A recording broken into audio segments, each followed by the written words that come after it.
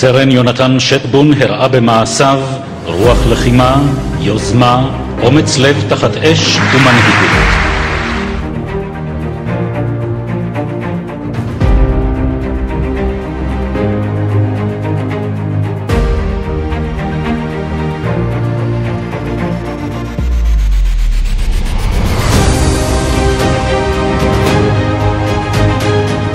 אחרי כל כך הרבה שנים הגיע הזמן להתחדשות בעיר נתניה!